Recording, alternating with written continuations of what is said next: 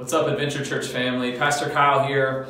I uh, wanted to give you an update on where we're at with the coronavirus and kind of how this is impacting uh, not just our state, but obviously the entire world at this point. So, uh, as of now, uh, we are going to be canceling uh, all in person gatherings uh, at the church for this Sunday.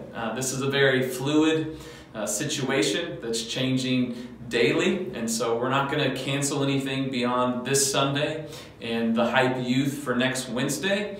Uh, but we are uh, just going to take it one day, week at a time moving forward. So for this Sunday, I want to make it clear we're canceling our in person gatherings at our physical church location, but we will have online church available for you, your kids, the whole family. So we want to encourage you to possibly gather some friends get with your life group, uh, sit with your family, and find a time to stay connected. I got a message I wrote last night all the way up till midnight that I believe is going to encourage you uh, around this idea of what we're facing in our current situation. And so stay tuned, stay engaged online. want to encourage you to stay engaged in your giving and all of those things as we just navigate this as a church and as a community.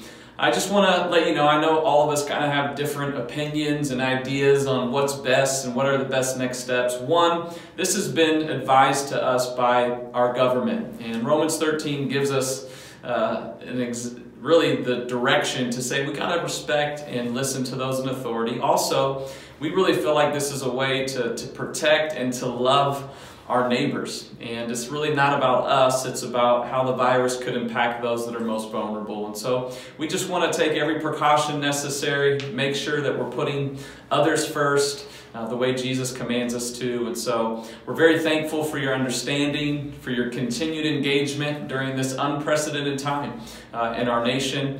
And we just want you to know that you don't need to be fearful, that God is still in control. He wasn't caught by surprise by this and that He is with us, He's leading us, He will see us through this, and I know it's just a matter of time that we'll be on the other side of this. We'll be better for it, closer together, more united than ever before. We love you, uh, and I can't wait till we can see you in person again, but I can't wait to gather with all of our online community this Sunday through Adventure Church.